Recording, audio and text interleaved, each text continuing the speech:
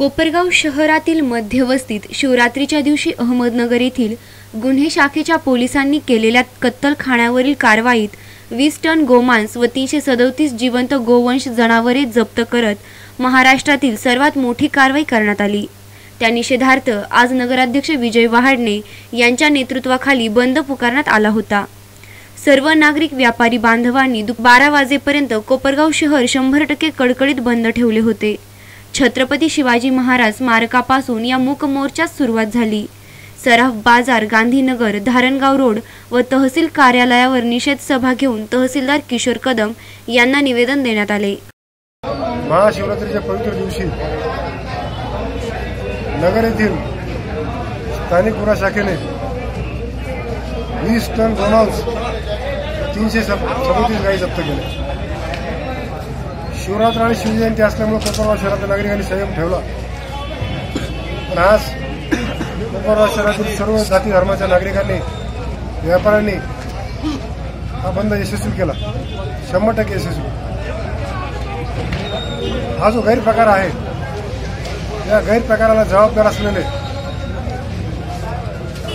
Police खाते कोपरगाव कृषी उत्पन्न बाजार समिती कोपरगावचे मुख्याधिकारी तहसीलदार जनावर आजारी आहे असं सांगून खोटं सर्टिफिकेट देणारे डॉक्टर या संबंधितावर कठोर कारवाई झाल्याशिवाय कोपरगाव शहरातील नागरिकांचा असंतोष हा शमणारा नाही आहे इथून पुढच्या काळामध्ये कोपरगाव शहरामध्ये अशा प्रकारे पुन्हा जर गो हत्या जर घाली झाली तर कोपरगावामधले तमाम नागरिक सर्व पक्षीय मतभेद विसरून या गोष्टीचा प्रखर विरोध केल्याशिवाय राहणार नाही.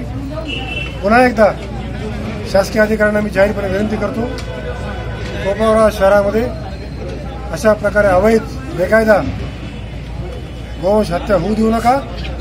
नाहीतर हत्या करणारे गुन्हेगार तुम्हालाही कोपरगावची जनता शासन केल्याशिवाय राहणार नाही.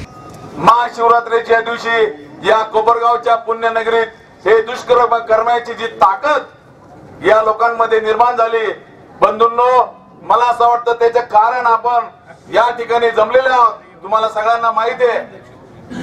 त्या घटनेचा नुसता निषेध करणं आपल्या स्वभावात नाही परंतु आपल्याला काही गोष्टीचे नियम पाळावे लागतात. परंतु शासनाला माझं आव्हान आहे तुम्ही आमच्या संयमाची परीक्षा बघू नका. आज या ठिकाणी संतोषबा बोलले. या ठिकाणी मुकमोर्चा झाला. जर येत्या आठ दिवसात हे कत्तलखाने बंद झाले नाही तर बंद करण्याची ताकद आमच्यामध्ये आहे हे तुम्हाला या निमित्ताने सांगतो. विषय महत्त्वाचा असा होता. मागच्या वर्षी तेवीस मार्चला आम्ही नगरपालिकेला पण एक निवेदन दिलं होतं. त्यात आम्ही उल्लेख केला होता की जर खंदक नाल्यामधून रक्ताचे पाठ वाहत आहे ते इतके दिवस कोणाला दिसले नाही का? आणि त्याचे सगळे पुरावे सहित आम्ही नगरपालिकेत गेलो होतो. मान्य नगराध्यक्षांना सुद्धा आम्ही त्याचं निवेदन दिलं होतं. त्यावेळेस शिव मॅडमने आमची काही भेट घेतली नाही. त्या नगरपालिकेत आल्यानंतर निघून गेल्या.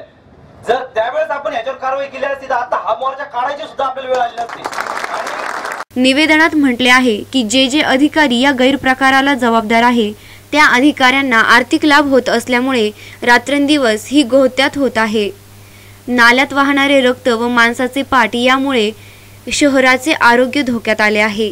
कोपरगाव पोलीस स्टेशन तहसीलदार कोपरगाव नगर परिषद मुख्याधिकारी पशुवैद्यकीय अधिकारी व कृषी उत्पन्न बाजार समिती यांना जबाबदार धरून कठोर कारवाई करणे अत्यंत आवश्यक असल्याचे नमूद केले आहे.